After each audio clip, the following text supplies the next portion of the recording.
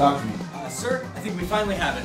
You found him? Uh, according to our research, this is the best team we could have possibly assembled.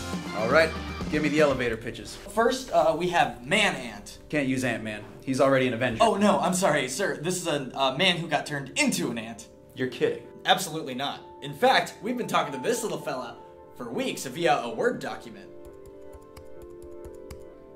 Well, who else you got?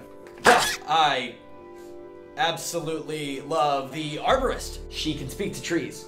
Sounds practical. It's not. Uh, they only speak Polish, and she is not grasping jest the language. ostry. Nie mogę uwierzyć, So far, so good. Uh, next is uh, Traffic Jam.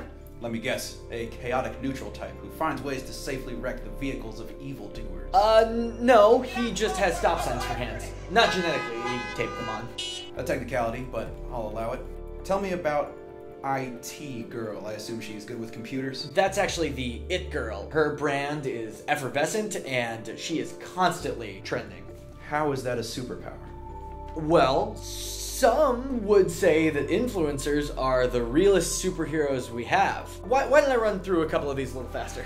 Achy flaky, he can get out of any obligation. I wish I could make it to the funeral, but I already volunteered for jury duty that day. Wink! No, I, I didn't say anything. I, I thought that was you. Couch Potato, a teleportation expert who only escapes evictions. You've paid rent in two months. Water bill's up. Power bill's up.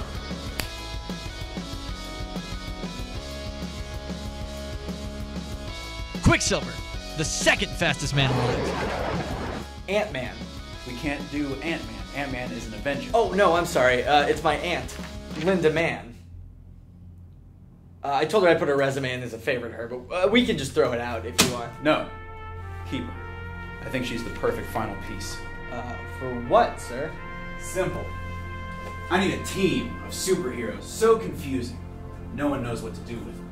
And a franchise I can run for the next 10 to 15 years. Frankly, I think we're ready.